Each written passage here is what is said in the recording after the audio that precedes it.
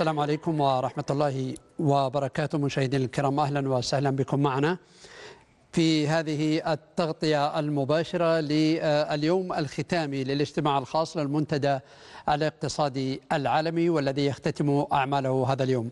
أرحب معي في الاستديو هنا بالدكتور علي الحازمي الباحث والمحلل الاقتصادي. حياك الله يا دكتور. أهلا أهلا وسهلا بالسادة المشاهدين. سعيد أن أكون معكم اليوم.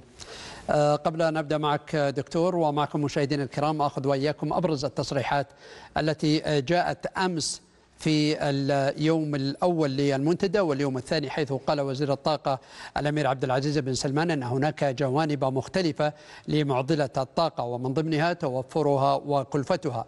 وأضاف الأمير عبد العزيز بن سلمان خلال مشاركته في جلسة ضمن مؤتمر المنتدى الاقتصادي العالمي في الرياض حول موضوع تحول الطاقة من وجهة نظر الشركات قال استطعنا خلال فترة قصيرة تأمين دعم دعم العالم للاقتصاد الدائري للكربون.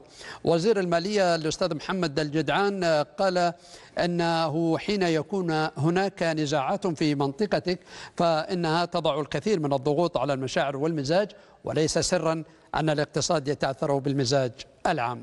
دكتور علي كيف تعلق على هذين التصريحين؟ نعم عندما نتحدث عن محاور المنتدى نجد بأنها هو تتحدث عن الإصلاحات الاقتصادية نتحدث عن التنمية وتتحدث عن الطاقة. عندما يفرد محور خاص للطاقة ثق تماما بأهمية هذا المحور اليوم التأثيرات في النمو الاقتصادي حتما لأسعار الطاقة لها تأثير. العالم اليوم لا يحتاج إلا لإختناق في سلاسل الإمداد أو لا يحتاج إلا لأزمة طاقة بعد ذلك سيقع أرضا ونحن نعلم في آخر أربع سنوات الاقتصاد لا يسير بشكل جيد. العقدين الماضيين كان متوسط النمو الاقتصادي تقريبا الثلاثة ونص. لم نحقق هذا الرقم. كلما أردنا الخروج حقيقة من أزمة عدنا إلى أزمة أخرى. لا نستطيع حقيقة إلا أن نقول بأن هناك بعض الدول كان لها دور الحروب الجيوسياسية تلعب دور مهم. أيضا بعض السياسات المتطرفة. عندما أتى بايدن إلى سدة الحكم تحدث بشكل مباشر بأننا سنوقف أو أوقف الرخص. التنقيب عن النفط في إشارة إلى الذهاب إلى طاقة متجددة وطاقة خضراء. بشكل سريع. هذا أثر حقيقة على الأسعار وبعد ذلك كانت تلام المملكة وتلام أوبك على وجه العموم بأن هناك الأسعار مبالغ بها وأن كميات الإنتاج قد خفضت والسبب هي بعض السياسات التي انتهجتها بعض الدول المتقدمة. لذلك عندما نتحدث في المجمل ما يحدث من أزمات يستوجب اليوم قادة دول العالم أن يجلسوا على طاولة أن تكون هناك مكاشفة ومصارحة. ما شاهدته أمس في حديث وزير الجدعان ورئيسة البنك البنك صندوق النقد الدولي. نعم. أنا أستطيع أن أطلق عليه هو كان حديث شفافية مصارحة تحدثوا عن نقاط الألم بشكل كبير. طيب أبرز ما يمكن أن يخرج به هذا هذا الاجتماع وخاصة اليوم اليوم الختامي يعني اجتمعوا السياسيين والاقتصاديين على طاولة واحدة. الكل تحدث بشفافية زي ما تحدث دكتور. كيف يمكن أن نرى خارطة الطريق للاقتصاد العالمي بعد هذا الاجتماع المهم الذي يجمع أكثر من ألف شخصية مؤثرة على مستوى العالم. نعم أنا أعتقد يعني ستكون هناك مخرجات حتما. تحدث وزير الاقتصاد في بداية انطلاق هذا المؤتمر قال بأننا نريد أن نترجم هذه المبادرات على أرض الواقع. نريد أن نأخذ هذه المبادرات على محمل الجد في تأكيد بأن واحد من أجندة هذا المنتدى هو أن تخرج هذه المبادرات إلى النور. هناك حصل اجتماعات ثنائية. أنا أعتقد بأن هي لتقريب وجهات النظر. بعض الملفات تستوجب حقيقة وجود بعض الدول على طاولة النقاش. إذا تحدثنا عن الحرب الروسية الأوكرانية نتحدث أيضا عن الحرب الحمائية الجمركية ما بين الولايات المتحدة الأمريكية والصين. نتحدث أيضا عن أوضاع جيوسياسية غير مستقرة في الشرق الأوسط.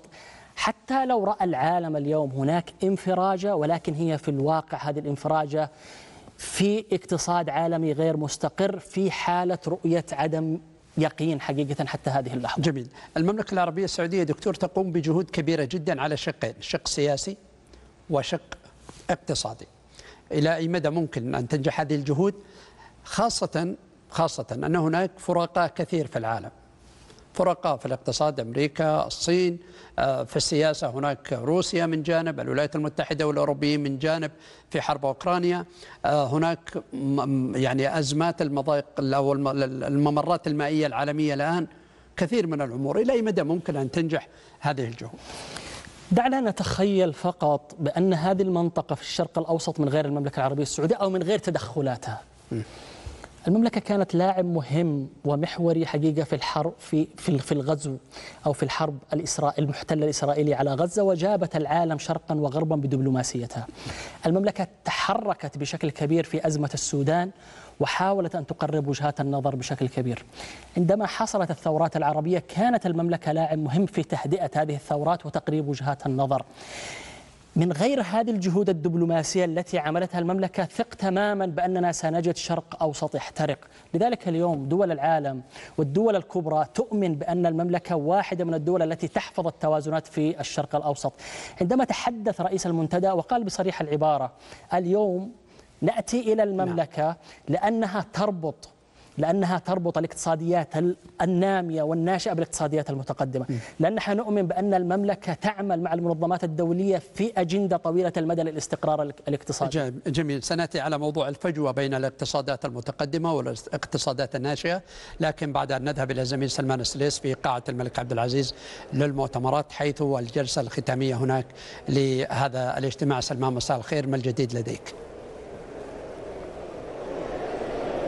مساء الخير لك محمد مساء الخير لمشاهدينا الكرام. من جديد بالفعل آه، ما زلنا مستمرين في رصد كل ما هو جديد في هذا المنتدى العالمي الذي يحظى بحضور كبير جدا من رجالات الاقتصاد وتعددت الجلسات وتعددت المواضيع من الصحة إلى البترول إلى. إلى السياحة إلى العديد من المجالات التي تخص الاقتصاد للحديث عن المنتدى ينضم بجانبي هتان السمان المشرف العام المشرف الدو... على المنظمات الدولية بوزارة الاقتصاد حياك الله معنا أستاذ هتان ودنا نتحدث عن شعار المنتدى آه، التعاون شعار جميل جدا ودنا نتحدث عن الشعار.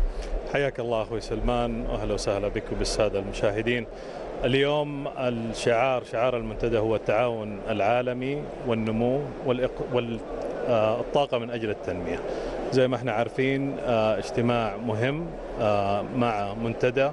اجتماعات كانت تقام من 1971 واليوم لأول مرة يقام هذا الاجتماع في المملكة العربية السعودية اليوم أنتم كالمنا... كأحد الجهات المنظمة والأساسية في هذا المنتدى ودنا نتحدث عن أبرز المهت... المستهدفات اللي رصدتوها والمخرجات اللي تتوقع أو خرجتوا فيها.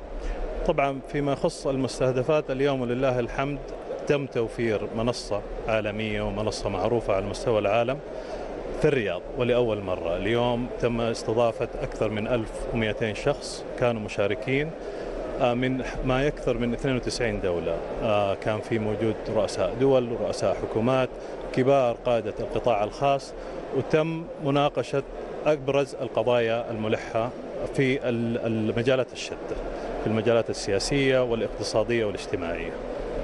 طيب أه تتوقع أبرز المستهدفات أه أو المخرجات اللي بتخرجون فيها عبر هذا المنتدى؟ اليوم اخ اليوم الختامي الجلسات أتوقع إنها انتهت لكن المخرجات إيش أبرز المخرجات اللي طلعتوا فيها في المنتدى؟ طبعا أبرز المخرجات اللي خرجنا فيها اليوم كان في كثير من النقاشات كان في كثير من طرح لحلول لبعض القضايا الملحة على الصعيد السياسي والاقتصادي.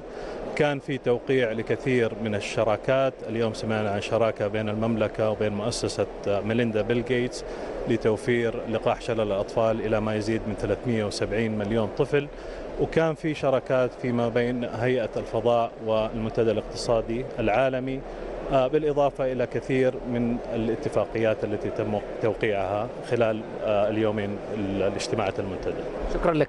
العفو حياك. شكرا لك أستاذ هتان السمان المشرف على المنظمات الدولية والعلاقات الخارجية بوزارة الاقتصاد. هذا ما كان لدي محمد. إن شاء الله بإذن الله راح نرصد كل ما هو جديد إن شاء الله بعد قليل. شكرا سلمان. عودة لك دكتور علي الحازمي في الاستوديو.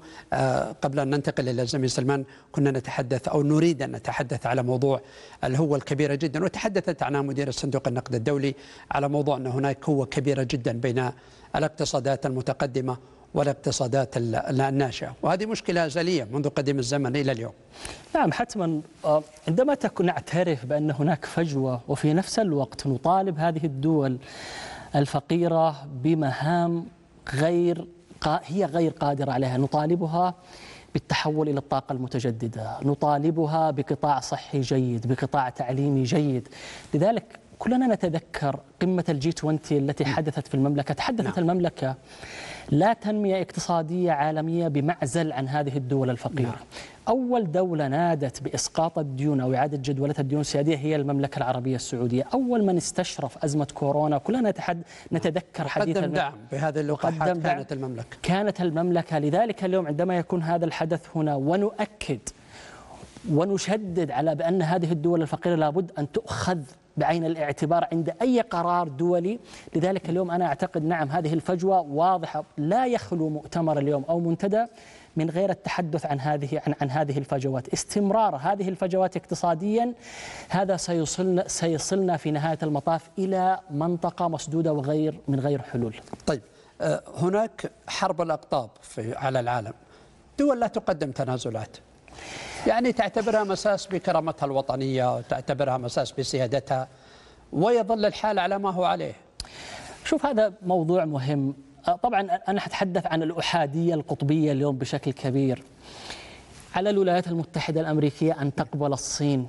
الصين اليوم أصبحت واقع فرض على العالم. وجود تعددية قطبية اليوم في العالم هو من صالح شعوب الأرض ليس من صالح الحكومات ولا الشعوب أن تنفرد دولة بالقرار الاستراتيجي.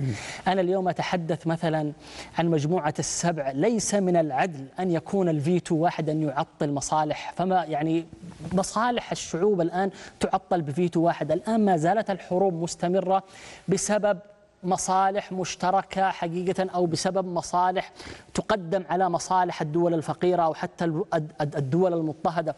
لذلك أنا وجهة نظري اقتصاديا وجود تعددية قطبية اليوم هو أمر مهم. حتى أوروبا حتى أوروبا اليوم التي لم تكن تتحدث عن عن عن, عن التعددية القطبية المستشار الألماني تحدث عنها تحدثت عنها بريطانيا في تأكيد بأن العالم اليوم يبحث عن تعددية قطبية تساهم حقيقة في النمو الاقتصادي وحتى رأب الفجوة والصدع والصدع حقيقة في المسائل السياسية. طيب في ظل هذا الاجتماع المهم جدا إلى أين يمضي العالم إذا استمر الوضع على ما هو عليه؟ الأزمات على ما هي عليه. نتحدث على مدى قصير خمس سنوات وعلى مدى متوسط عشر سنوات. إلى يوم إلى أي مدى يمكن أن يذهب؟ ما هي الحالة التي سيذهب إليها؟ آه، إذا استمر الوضع كما هو في كل عام نقول بأن هناك انفراجة اقتصادية والسبب لا يوجد تحركات وكأن العالم ينتظر معجزة إلهية تنزل إلى الأرض لتحل هذه الأزمات.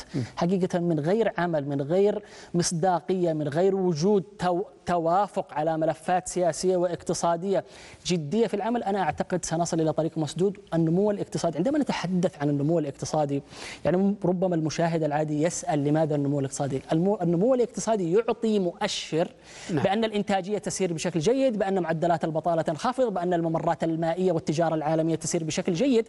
لذلك النمو الاقتصادي هو المؤشر الكبير. عندما تتحدث رئيسة آه، صندوق النقد وتقول النمو حقيقة نغير ما بين وقت آخر. إذا شاهدنا قبل العام 2019 كان هناك استقرار في توقعات صندوق النقد الدولي ومجموعة البنك الدولي في النمو الاقتصادي. بعد بعد العام 2000 أو مع أزمة كورونا نشاهد بأن هناك تخبط كبير في المنظمات الدولية من حيث التوقع للنمو الاقتصادي والسبب لأن حالة عدم اليقين ما زالت تهيمن على المشهد الاقتصادي بشكل كبير. جميل جدا. الاستراتيجية في السياسة الخارجية السعودية وأيضا في السياسة الاقتصادية والمالية السعودية نأخذها لكن بعد هذا الفاصل القصير.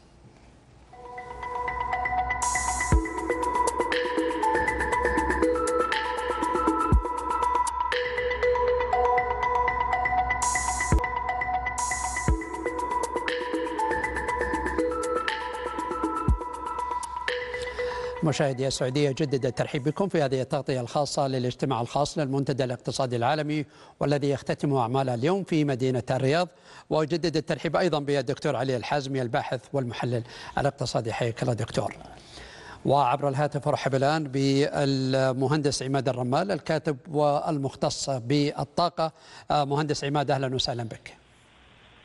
تحيه طيبة. حياك الله. أبرز المشاكل المختصة في مجال الطاقة التي يواجهها الاقتصاد العالمي والتي تمت مناقشتها بشفافية كبيرة جدا في هذا في هذا الاجتماع. وكيف يمكن آه، حل آه، هذه المشكلات؟ السؤال لي؟ إي نعم لك مهندس عماد لك. اولا أوجه التحية لك ولضيفك الكريم دكتور علي الحازمي وللسادة المشاهدين. آه، بطبيعة الحال آه، اليوم آه، طبعا المملكة عندما تتحدث عن الطاقة فهي لا تتحدث عن أزمات أو عن مخاوف. المملكة في ظل الوضع الحالي هي تتحدث عن إنجازات عن مؤشرات. قامت بتحقيقها من خلال الأهداف التي وضعت آه، لها. آه، أود أن أذكر فقط أذكركم وأذكر السادة المشاهدين آه، آه، في عام 2015 كانت هناك مخاوف كبيرة في المملكة بأن يكون الناتج آه، النفطي من المملكة سوف يستهلك محليا بالكامل نتيجة لارتفاع الاستهلاك المحلي. آه، اليوم نشهد خلال آه، الثمان سنوات الماضية من آه، انطلاق الرؤية. آه، هو زيادة ال- آه، إنتاج المملكة وكفاءة ال- ال- الاستهلاك بالإضافة إلى آه، التركيز آه، على مصادر آه، الطاقة الأخرى كال- كالغاز في المقام الأول وكذلك الطاقة آه، الم- المتجددة. بلغ إنتاج المملكة خلال هذه الفترة في ذروته آه، في عام 2020 آه، تخطى عش- آه، آه، 12 مليون برميل يوميا والمملكة ما زالت هي تحافظ على مكانتها العالمية ك ك السوق الموازن لأسعار النفط في العالم. نعم. طيب مهندس عماد الأمير عبد العزيز بن سلمان آه، تحدث يوم أمس نصا قال استطعنا خلال فترة قصيرة تأمين الدعم العالم للاقتصاد الدائري للكربون. هذه نقطة جدا مهمة. كان هناك دول متحفظة أو دول تعارض موضوع الاقتصاد ال- ال- الدائري للكربون لكن تصريح الأمير وهو الشخص المسؤول عن موضوع الطاقة آه، جدا مهم في في تحول وتقدم كبير جدا في هذا الموضوع. صحيح. لو تلاحظ أن آه، نظرة آه، كثير من الدول للعالم لمصادر الطاقة الهيدروكربونية آه، قد تغيرت آه، في آه، الفترة آه، الأخيرة. آه، فبدلا من أن يتم معاداة آه، آه، المصادر الهيدروكربونية أو معاداة آه، النفط آه، آمنوا أو تأكدوا أنه لا بديل أفضل من المصادر الهيدروكربونية وأكثر موثوقية في ظل عدم آه، وجود بديل آخر بإمكانه أن يحل مكان المصادر الهيدروكربونية. لذلك فالنظرة قد اختلفت في آه، للنفط وهذا ما آه، نراه حتى في محادثات المناخ مؤتمرات المناخ التي تحصل فبدلا من آه، محاربة النفط هو استخدام هذا المصدر الطاقة المهم جدا لاستمرار النمو العالمي نعم ولاستمرار إيصاله إلى جميع البلدان التي تحتاجه لكن في نفس الوقت هو آه، المحافظة آه، على البيئة من خلال الكربون آه، الدائري التي أشار إليه سمو نعم. أمير الطاقة وهو الذي ينص على أن يتم تقليل الغازات جميل. المنبعثة وإعادة استخدامها. نعم المهندس عماد الرمال الكاتب المختص بالطاقة شكرا جزيلا لك دكتور علي هناك استراتيجية سعودية وهي الذهاب إلى التنمية تنحية الخلافات السياسية وحلها بمعزل عن موضوع التنمية الاقتصادية. هناك أه، أه، جهود كبيرة جدا لتصفير المشاكل بالذات في منطقة الشرق الأوسط. أتت كلها يعني منذ أن بدأت نرى نتائج إيجابية على الأرض.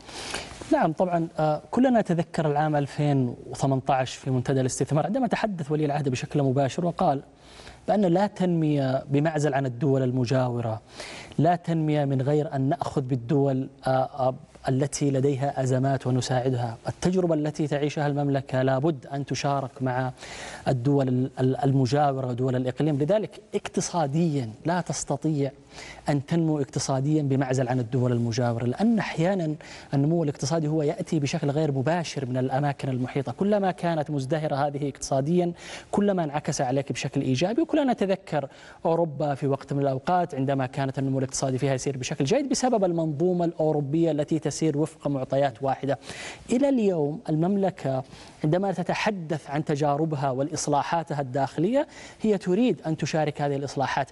تحدث وزير المالية قال حتى ال- المساعدات التي نقدمها والإيداعات وال- والودائع التي نقدمها للدول الآن أصبحت مشروطة بإصلاحات. الهدف هو ليست كروت ضغط أو ضغط وإنما نؤمن بأن هذه الإصلاحات لابد أن تحدث في هذه الدول، هذه الإصلاحات ستنتج عنها رفاهية لشعوب تلك الدول. أما من ناحية تصفير الأزمات أعتقد وجهة نظر ربما هي يعني مثالية بشكل جيد ولكن على الأقل لو خفضنا هذه الأزمات والأزمات تحدث في كل مكان نعم. لسنا في معزل. حتى الدول التي لديها تنمية اقتصادية يعني جيدة. ونتحدث عن الصين مثلا وأزماتها مع تايوان. نتحدث عن ازمات خروج بريطانيا من البريكس من أوروبا. هناك أزمات ولكن ما زال هناك تنمية هي لا تؤثر بقدر ما يكون هناك رغبة جادة من هذه الدول أن تكون لديها إصلاحات شاملة اقتصادية. جميل جدا. هذا وقد حذرت المملكة العربية السعودية من تداعيات الحرب في غزة على الاقتصاد العالمي داعية إلى عدم التصعيد في النزاع الدامي المستمر منذ قرابة سبعة أشهر. جاء ذلك خلال الاجتماع الخاص للمنتدى الاقتصادي العالمي والذي يحضره عدد من الوسطاء الدوليين. أذهب إلى نقطة مهمة جدا. موضوع التحالفات الدولية على المستوى الإقليمي وعلى المستوى الدولي.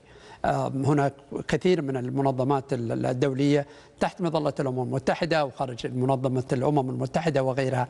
إلى أي مدى يمكن أن تساعد هذه التحالفات؟ في تقليل أو تهدئة الأوضاع والوصول إلى حلول وسط في الجوانب الاقتصادية العالقة بين يعني كبار الاقتصاديين في العالم. يعني طبعا التحالفات نستطيع أن ننظر لها بشكل إيجابي ونستطيع أن ننظر لها بشكل سلبي ولكن بعد أزمة كورونا خاصة والربكة التي حصلت عالميا هناك ردة فعل عالمية بشكل كبير. نتج عن هذه تحالفات تقول المقولة إن كان هناك شخص على الأرض عرف السلام وإن كان هناك شخصان عرف الصراع وإن كان هناك ثلاثة عرف التحالف. لذلك أنا التحالف وجهة نظر اقتصادية هي صحية للاقتصاد العالمي. عندما نشاهد تحالف البريكس عندما نشاهد تحالف مجموعة الآسيان تحالف مجموعة الكاريبي مجموعة أنا أرى بأنها صحية بقدر الإمكان ما لم تدخل فيها ملفات سياسية الهدف منها هو مثلا تحالف على حساب آخر. كلما كانت أجندة التحالفات اقتصادية أو يطغى عليها الجانب الاقتصادي أنا أعتقد هي في صالح رفاهية شعوب العالم. جميل جدا. أعود إلى الزميل سلمان أسلس في قاعة الملك عبد العزيز للمؤتمرات في الرياض. سلمان أهلا وسهلا بك مرة أخرى. أهلا وسهلا بك محمد. محمد الجميل في هذا المنتدى تبادل التجارب والخبرات بين رجالات الاقتصاد في هذا المنتدى. طبعا ينضم بجانبي الآن خبير الاقتصاد واحد الرؤساء التنفيذيين للشركات الأستاذ طارق العنقري. حياك الله أستاذ طارق. اليوم أنتم تحتفلون رجال الاقتصاد بهذا المنتدى العالمي في العاصمة الرياض. ودنا نتحدث عن المنتدى ماذا يمثل لكم أنتم كرجال اقتصاد؟ آه شاكر لك أخوي سلمان. اولا آه قبل كل شيء رعاية سمو ولي العهد. آه لهذا المنتدى تعكس مدى اهتمام الدولة بالاقتصاديين والاقتصاد وكذلك بالقضايا العالمية، المنتدى هذا ليس مجرد منتدى اقتصادي، منتدى اقتصادي جيوسياسي حضر عدد كبير من رؤساء الدول، وزراء الخارجية، كان في نقاش لقضايا اقتصادية، لقضايا مالية، لقضايا جيوسياسية، أيضا يعكس دور المملكة، السعودية اليوم قادت عدد كبير من الاتفاقيات في قطاع الفضاء، في القطاع الطبي مع منظمة بلغيس في ما يخص القضاء على بعض الأوبئة والأمراض على مستوى دولي، ففعلا السعودية في المنتدى هذا يعكس إن السعودية دولة قيادية ودولة عظمى وليست دولة عادية وحضور هذا العدد هذا العدد من رؤساء الدول. وزير الخارجية الأمريكي اليوم كان هنا قبل يعني منذ قليل كان واقف على المسرح. رئيس وزراء باكستان رئيس الوزراء المصري وعدد كبير من القيادات موجودين. عدد كبير من أيضا رؤساء الشركات الدولية رئيس شركة موديرنا اللي كانت لها دور كبير وقت الأزمة الأزمة الصحية الماضية وكذلك عدد كبير من الرؤساء السعوديين اللي كان لهم دور في هذا المنتدى. أنتم كرجال أعمال وفي تمتلكون شركات وتمتلكون اليوم في تبادل تجارب أو عقود شراكات بينكم، ودنا نتحدث عن هذا المنتدى، إيش يوفر لكم أنتم كرجال اقتصاد؟ أول نقطة أمس واليوم كان موجود في المنتدى هذا 11 وزير من الحكومة السعودية وعدد أكبر من الوزراء من جهات مختلفة. عدد كبير من الجلسات يتم فيها نقاش توجهات الدولة فيما يخص التوجهات المستقبلية. نقطة مهمة توقيت حضور المنتدى كان يتوافق مع آه، التقرير السنوي اللي بعد مضي ثمان سنوات على الرؤية فتوضيح أكثر لما وين النقاط اللي إحنا ماشيين عليها حسب الرؤية وين الأشياء اللي صار فيها تغيير كاقتصادي أو كرجل أعمال أو كرئيس شركة توجهات الدولة ومهمة جدا لك في تحديد مسارك الاقتصادية. نقاش ما يتم عندنا في السعودية هنا أيضا بالمقارنة مع ما يتم في الدول الأخرى. نشوف وين حنا فيه هل حنا على المسار الصحيح هل في أشياء نتعلمها أو يتعلمون منا. واللي لاحظناه صراحة أنه فعلا حنا سابقين العالم في نقاط كثيرة وفي مجال أكبر للتحسن أيضا في نقاط أخرى. شكرا لك. شكرا. لك شكرا لك الأستاذ طارق العنقري أحد الرؤساء التنفيذيين للشركات الكبرى. طبعا الجميل محمد إن تبادل الخبرات كبير جدا في هذا المنتدى. نعود لك محمد. شكرا لك سلمان ولضيفك الكريم. دكتور علي هناك هواجس كبيرة جدا لدى المشاركين في هذا المؤتمر وأكيد أنهم تشاركوا هذه الهواجس سواء على من المتحدثين أو حتى في الاجتماعات الخاصة أو الاجتماعات المغلقة. أبرز هذه الهواجس التي يعني مسيطرة على الجميع. نعم طبعا هي هو العنوان العريض لهذا هو إصلاحات اقتصادية. وإصلاحات اقتصادية يعني بأن هناك هواجس تخيم على العالم. م. الهاجس الأكبر معوقات النمو الاقتصادي العالمي. الهاجس الأكبر كيف نأخذ بيد الدول الفقيرة إلى وضع اقتصادي مستقر؟ كيف أزمات اللاجئين؟ وهذه أثرت على الأزمات على على النمو الاقتصادي والأزمة الاقتصادية. كيف انخفضت معدلات الإنتاج. كيف نحمي الممرات المائية حتى تكون هناك انسيابية للتجارة العالمية؟ الطاقة المتجددة والتحول بشكل أجريسيف أو. التحول بشكل شديد من الطاقة النفط الإحفوري إلى الطاقة المتجددة وكيف سيكون له تأثيرات؟ اليوم نتحدث 81% من الطاقة في العالم هي طاقة من النفط الإحفوري. الذهاب إلى الطاقة المتجددة تنادي المملكة دائما وأبدا. سنذهب ولكن دعونا نذهب بشكل تدريجي. نضع هدف على مستويات العشرين خمسين وعلى مستويات العشرين ستين. ولكن هناك بمعنى أصح أتمنى م. ألا تسيس بعض الملفات الاقتصادية من أجل م. تحقيق أهداف شخصية لبعض الدول لكن هذا الحاصل دكتور يعني هناك دول تسيس هذه الملفات الاقتصادية لنذهب إلى موضوع الابتزاز السياسي وغيره وتحقيق مصالح تحقيق نفوذ في في ملفات اقتصادية معينة. أبرز مثال هو المثال ربما الوحيد الصين والولايات المتحدة الأمريكية. لا وهناك مثال آخر. كيف يمكن أن تقنع مثل هذين العملاقين؟ كيف يمكن إقناعهم لا هو المشكلة عندما نتحدث نتحدث عن الولايات المتحدة الأمريكية والصين يمثلون تقريبا 40 إلى 35% من حجم الناتج المحلي الإجمالي. م. أي ربكة مع هذه الدولتين سيقع العالم رأسا إلى أسفل إلى أسفل الأرض. هذا حتما لا هناك. عندما تتدخل الدول ما بين الأزمة التهدئة. الأمريكية والصين يعلمون ما هي التبعات التي ستحصل. باختصار شديد أمريكا إلى هذه اللحظة لم تستوعب الحجم الاقتصادي والثقل السياسي للصين، الصين أصبحت عملاق. لابد أن تقبل أمريكا هذه التوجهات وأن تقبل الصين كما هي وأن تقبل بأن العالم وان تتعايش مع الموضوع. والعالم يقاد بأكثر من دولة والعالم لابد أن يكون في تعددية قطبية. طيب المملكة العربية السعودية تستضيف هذا الاجتماع الخاص. هي عضو مجموعة العشرين. كل دول مجموعة العشرين موجودة على رأس الولايات المتحدة الأمريكية بوزير خارجيتها. دور مجموعة العشرين الآن. إذا أخذنا هذا الدور الكبير جدا لهذه الدول التي يعني تسيطر على أكثر من 80% من الاقتصاد العالمي. نعم طبعا تسيطر على 80% عدد سكانها يتجاوز 63% من عدد سكان العالم. كل المعطيات الاقتصادية لذلك عندما نتحدث عن دول G 20 هو أهم تحالف عالمي موجود. لذلك لا غنى عن هذا التحالف عند أي قرارات حدوث أي قرارات اقتصادية. نعم نتحدث عن اجتماعات شوف عندما نتحدث عن تاريخيا عن ال G 20 كانت هناك ملفات ومن يلاحظ نفس الملفات تطرح عام بعد عام. هذا في تأكيد بأنها إما أن تكون ثقيلة إما أن تكون أنها لم تحل إما أن يكون هناك ليس هناك جدية أكيد هي تطرح دكتور تطرح لأكثر من مرة لأن لم لم لم توجد الحلول موجودة لكن تنفيذ هذه الحلول. نعم. هناك من يقف في طريق هذه الحلول.